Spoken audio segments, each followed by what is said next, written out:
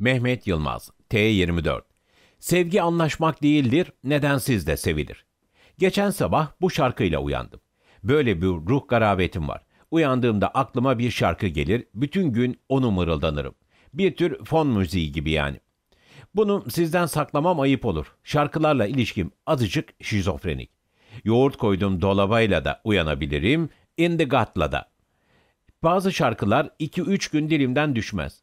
Yakınlarımın bundan hoşnut olmadıklarını da biliyorum. Mesela Selaluna Mezamor şarkısının sadece şu kadarını ezbere biliyorum. Aydeniz'in üzerinde anneciğim evlenmem lazım gibi bir anlamı var. Aradaki sözleri atlarsanız gerisi çok kolay. Oh mamma la la la la. Sabahın köründe gece yarılarına kadar her fırsatta aklıma her estiğinde yarım yamalak bildiğim bir şarkıyı söyleyerek dolaşan birinin yakın çevremde olmasından doğrusunu isterseniz ben de pek haz etmezdim. Ama tıpkı Cumhurbaşkanımız gibi ben de kendi sesime bayılıyorum. Akşam tükettiğim buzlu sıvı miktarına bağlı olarak sabahları dramatik baritonla lirik bariton arasında bir sesim var. Müzik eleştirmeni olsaydım şöyle derdim. Sanatçının sıcak ve çok yönlü, bazen insanın içine işleyen, bazen librettoya yabancılaştıran bir sesi var. 50 yıl sonra da eminim dinlenecek. İşte yine böyle bir ses aralığında sevgi anlaşmak değildir, nedensiz de sevilir diye çığırır ve sabah yürüyüşüne hazırlanırken aklıma takıldı.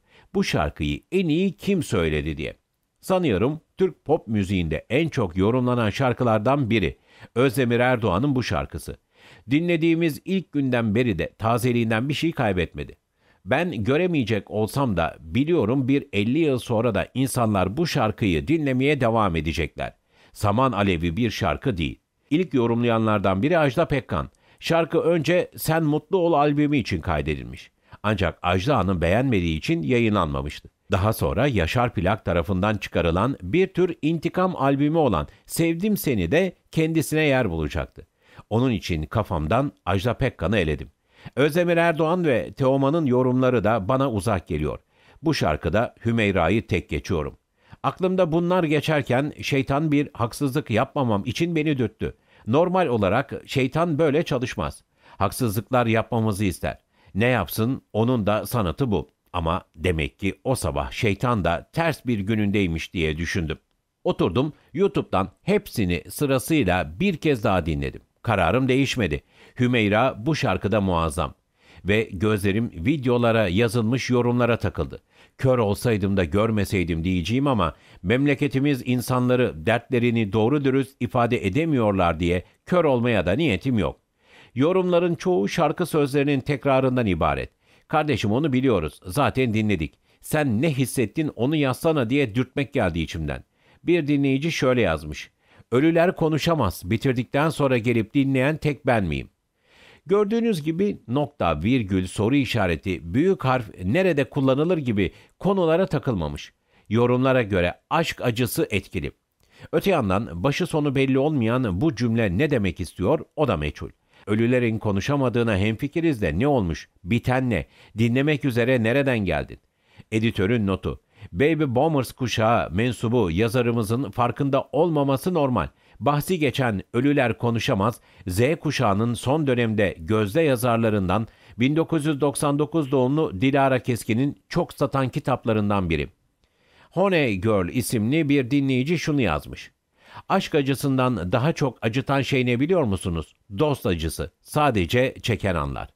Türkiye'de yaşarken insanın kendisine İngilizce takma isim seçmesi ne anlama geliyor? Türkçeyi beğenmemek mi yoksa tanınmamak mı? Bir başka kadın kullanıcının yorumu. İçimdeki küçük kız o kadar heyecanlıydı ki seninle tanıştığına, kalbimin duvarlarını, hayallerini çizerek doldurdu. Ne oldu biliyor musun? O duvarlar teker teker üstüne yıkıldı. Nefes alıyor ama almasa daha iyi. Örnekleri uzatmayacağım. Videoların altına yazılanlar daha çok aşk acısı ile ilgili meseleler. Sonra düşündüm. İnsanlar bu şarkıyı neden seviyorlar? Mutlaka bir neden gerekir mi? Şarkıyı yorumlayanların payını küçümsemeyin. Ve elbette besteyi yazıp sözlerini yazana daha büyük bir pay vermeliyiz. Ancak yorumları okuyunca sözlerinin besteden de yorumdan da öne çıktığını düşündüm. İnsanları bu sözlerde kendilerinin hissedip ifade edemedikleri bir duygu bulmuşlar. Orası çok açık. Ve kalp kırıklıklarını nedensiz sevmeye bağlıyorlar. Bir kere sevdim, daha da sevmeyi sevemem diye adı konmamış bir hayıflanma içindeler. Birisini herhangi bir neden olmadan sevebilir misiniz? Çok zor bir soru değil aslında. Karşılaştığınız insanı sevmeniz için ortada görünür, görünmez bir neden yoksa niye sevesiniz? Spinoza mutlaka bir neden gerektiğini düşünüyordu. Etikada aşk dış bir neden fikrinin eşlik ettiği bir iç gıdıklanmasıdır diye yazmış. Öte yandan Schopenhauer bu sözü çok eğlendirici buluyor, aşırı saf diye. Çünkü Schopenhauer için aşk istedikleri kadar dünyevilikten uzak görünsün sadece cinsel dürtüde temellenir. Kendisinin kadınlarla arasının pek iyi olmadığını, daha doğrusu kadınlardan pek yüz bulmadığını biliyoruz. Hayatında tek önemli kadın annesiydi. Onun için aşkla birisinin çekimine kapılmayı karıştırmasında bir tuhaflık yok. Kuşkusuz ki her romantik ilişki cinsel bir boyutu da içinde taşır. Cinsel bir boyutu olmayan ikili ilişkiyi dostluk, arkadaşlık gibi kavramlarla tanımlamak daha doğru olur. Schopenhauer'ın inandığı gibi salt cinselliğe dayanan bir aşk ilişkisi yoktur. Onun için Spinoza'yı o kadar saf görmemek gerek.